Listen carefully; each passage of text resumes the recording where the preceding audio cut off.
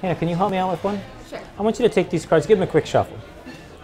And while you're shuffling the cards, I want you to think of any card, any card that you want in the deck, but don't think of the ace of spades, okay? Think of anything I, I couldn't possibly have anticipated, okay? Okay. And you've got it locked in your mind, correct? Mm hmm And you have to admit, there's no way I could know what card Hannah's only thinking of, right? Now, what I want you to do is um, hold out your hand like this and tell me was the um,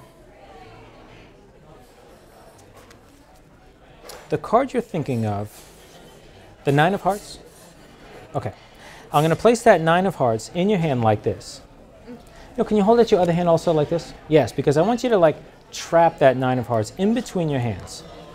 Like this. Good. Now for the first time tell me the card that you were only thinking of. What was the card you were only thinking of Nine of diamonds. Nine. Watch. Did you feel that? Open your hand. Oh my. How did you do that? You didn't feel anything. Uh-uh. Tingle, No.